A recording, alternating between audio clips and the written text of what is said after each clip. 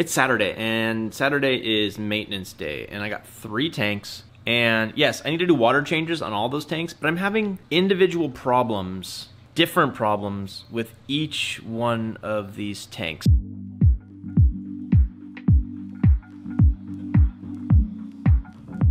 Tank 1, the Fluval M60. The biggest problem I'm having in this tank is the brand new anemone is dead.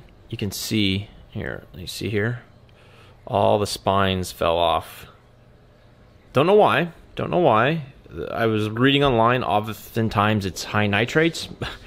well, my nitrates are one, so that's clearly not it. I, I don't know why, because in the other tank right here, it's doing just fine. So you know, sometimes there's just livestock loss. So obviously this urchin is not going to help with the green hair algae. Problem number two in this one is still, still green hair algae. And I have more cleanup crews coming. I added some in here somewhat recently, but they're not going to tackle this they're they're not going to be able to tackle that. So I'm going to have to go in here and manually remove as much as I can. And so I'm just going to use my fingers that are gloved and then like a bucket of fresh water and just pull it out and put it in the fresh water and and, and, and just go back and forth. My nitrates are running about one. My phosphates are running undetectable, but I'm not going to stress about it because other than that, the tank's doing fine. So I, I, think what happened is I have not added any sort of cleanup crew addition in six months until last week. As die off occurred, I didn't replace it. So look at that. Look at that valiant little guy trying to help me out here. But there's no way a few hermit crabs is going to be able to take care of all that. So I'm going to have to help him out a little bit. All right,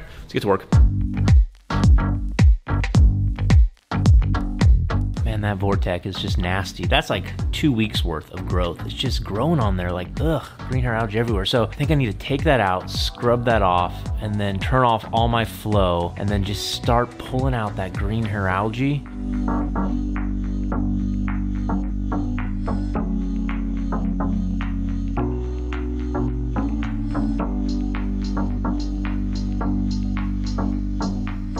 Trying to do right now is just pull out the biggest pieces of hair algae and then I'm just putting them in this bucket with fresh water to get my fingers clean and I'm just trying to give my cleanup crew a chance to catch up. It's extremely tedious but essential and I, I shouldn't have let it got this bad but I mean I've had worse before and since I don't really want to use any sort of cleaning product this is really my only option is just to stay on top of it until my cleanup crew can catch up. And I have some more snails, some more hermits coming. And another thing I'm gonna do is probably pick up the snails that I have. Like here's one right here, right? An astrea snail right here, see?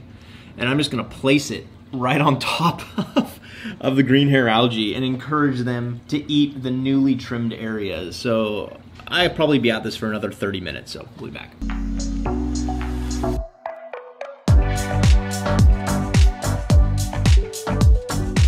All right, well, here's the damage after round one. You can see, I mean, I got water everywhere, but that's okay.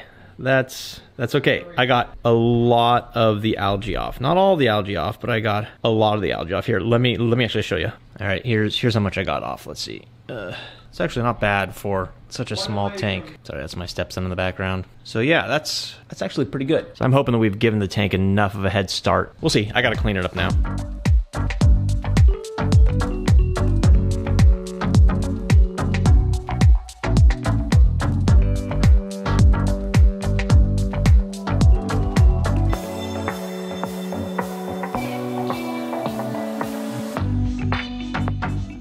Sorry, it's a weekend, so the kids aren't in school, so you're gonna hear the kids in the background. This room stinks after cleaning this tank of the green hair algae. It just reeks of algae, you know, that, that kind of nasty algae smell that you get in your tank sometimes. That's what it smells like, but I got a lot of it off. So let me turn you around, show you what I got off. I mean, you probably can't even tell, but I got a ton of that algae off. I mean, I didn't get all of it off, obviously, but huge clumps of it. And there's still huge clumps of it, and that's that, that's fine. I mean, that's just how it's going to be. It's going to take me several weeks to really get rid of all of it. I think I need to remove the urchin uh, so he doesn't just rot in there because, I mean, clearly dead, if not completely dead, then definitely dying. I use these Kamoer X1 dosing pumps and I put about five to seven milliliters of calcium and alk in a day.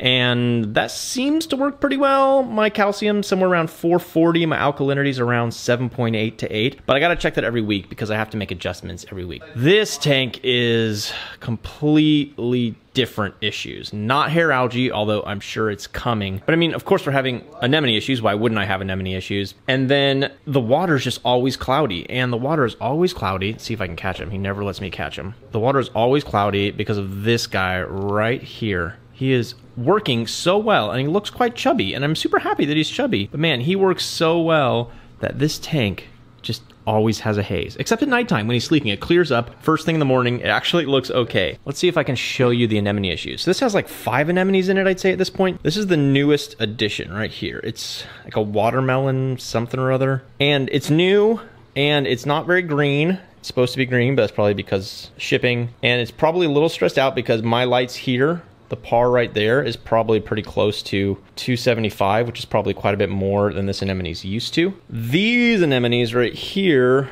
are old ones that I've had for a while, and they were for the longest time over in this tank. So they're kind of used to my water parameters and used to having some higher lights. So they're doing okay. You can see the little baby one. I don't know if it's going to pull through or not, but I hope they do okay. They've settled right there. But the biggest problem I'm having is with the green bubble tip that I got a while ago. I don't even know if I can show you. There we go. Oh, can you see that? Can you see how awful that is? Look at that. Oh, these? Oh, this? Okay. right there, look. I'm not to touch anything because that's what I swore I would not do is I wouldn't touch a thing. Look at that though. I'm guessing too much light. Not to touch her. She looks terrible. Looks like she's dying. But I'm not to do a thing. That's what I declared I would not do. So I'm hoping that that anemone will eventually right herself. This tank has been struggling with low nutrients after struggling with high nutrients. I'm only running a little carbon on here right now. My nitrates are at one, my phosphates are at zero. So I'm just upping my feeder here. I'm feeding four times a day, two rotations using this automatic feeder. And then I'm also feeding frozen food every single day. Look how healthy this one is. This one is super healthy, especially compared to the one that was dead. So who knows, maybe this one was just a healthier one and the other one wasn't. Oh, Focus. There we go. She's got a little hanger on there. She's been working around the tank just fine, so I hope hope she's gonna be okay. Water testing, water changing, and then that's it for now.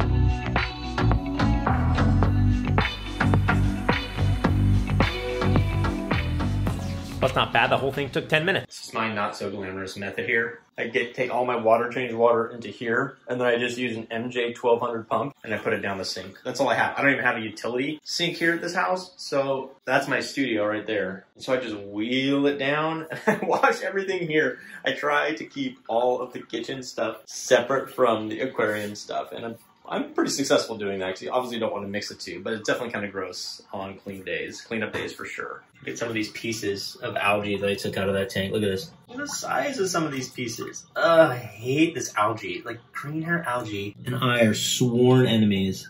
Look at all that. Oh, so gross. It smells awful. Ugh. Oh well. I will get control of it in the next few weeks or months. Okay, we got two of the tanks done, water changed. The last tank is a 40 gallon breeder. It's the QT tank. The biggest issue I'm having right now, I don't remember, but I, I had dinos and the dinos are gone, which is fantastic. They, there's still a little bit of dinos left, like, like on the macro algae in the sump, but that's it. And I just remove them, pull them out, and it seems to be just fine. But the biggest issue I'm having is a phosphate issue. My nitrates are at one, but my phosphates are at like 0.3 right? And that's even with a huge amount of macroalgae. So I realized that like yesterday, one of the problems I was probably having is that I hadn't trimmed back the macroalgae in a while, so I just don't know if there was any room for it to grow. So I trimmed some of that macroalgae back, pulled out some of those dinos with it, and so now I just need to do a water change. My calcium and alkalinity levels have been fine. I'm dosing it with using this like Polish doser called Aquatrend. But the other day I noticed this puddle on the floor and it was because my cats had uh, bitten through the line and so I had to repair that, which was super annoying. But I'm just not getting the coral growth that I want. I'm really getting a tiny, tiny, teeny amount of coral growth. So I'm just gonna keep monitoring it.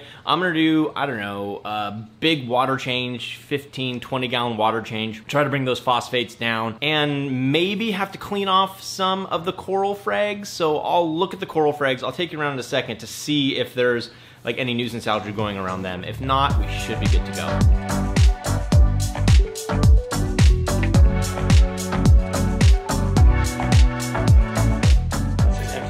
I went down here. I got jumped by an anthias, which is awful because anthiases are just notorious for not acclimating well. So I'm going to try to catch them real quick. One second. Look what else I found. I hate bristleworms just because they gross me out. I didn't know I had any bristleworms in there. Just look at how big that one is. Must have been just loving the detritus down there. it's so gross. Oh, okay, see if I can catch this guy. Might need something smaller.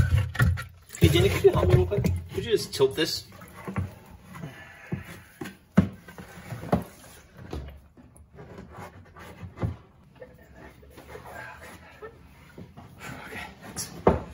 Got her, go put her back.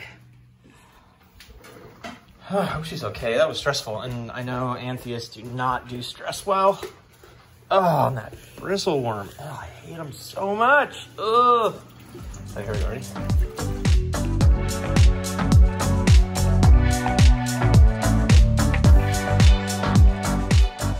Well, that's pretty much it. I mean, that was about three hours worth of work to do the water changes and all those, to to clean up the massive algae over there. This clownfish harem tank was definitely the easiest, but it was kind of boring. I'm sorry, it was just kind of boring. I still need a water test, make some adjustments there, but really now I'm just waiting to keep working on the clownfish harem tank. Those 10 clownfish should be coming next week or the week after, as well as like 10 more anemones. So I'm kind of waiting on that. And then the only other real battle right now is just beating the green hair algae. So I have cleanup crew arriving next week, a whole bunch of crabs, a whole bunch of snails, and hopefully that will help since the sea urchin just died within like a day of putting them in there. Tune in next Tuesday to see the update. Maybe we'll have some fish by then. Maybe we won't, but maybe we'll have some fish. Maybe we'll have some anemones. It's gonna really transform the gallery as soon as we get all that taken care of. If you like this video, if you wanna see more like it, please give it a thumbs up. Please consider subscribing to My First Fish Tank, and as always, be well, happy reefing. We'll see you next time.